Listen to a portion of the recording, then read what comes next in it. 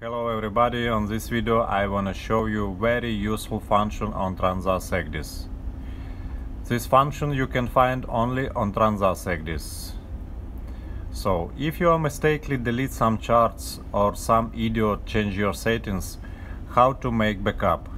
At first you shall go to and press Transas Integrator. After press the Service Tools and you will see recovery point, recovery points manager. This is function like on personal computer. You can create new recovery point, press the next and finish. So if some troubles happened, uh, you can go back to Transas, service tools, recovery points and you can choose the first recovery configuration data. Press the next. In this window you can choose your recovery point by the date when you created that.